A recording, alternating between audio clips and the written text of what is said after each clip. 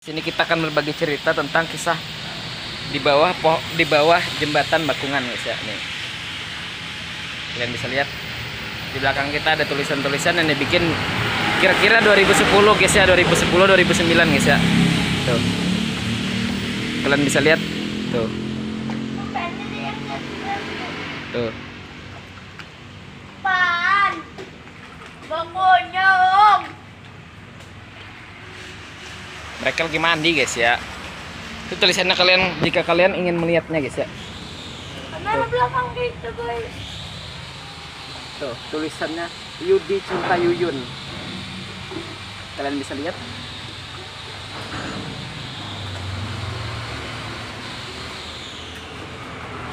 Kelihatan nggak? Kelihatan nggak? Kelihatan lah masanya.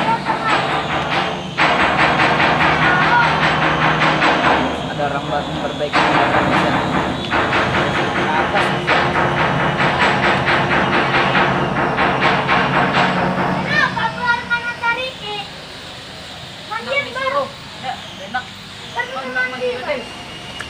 Oke guys ya, cukup sampai di sini vlognya. Pokoknya banyak lah tulisan-tulisan itu.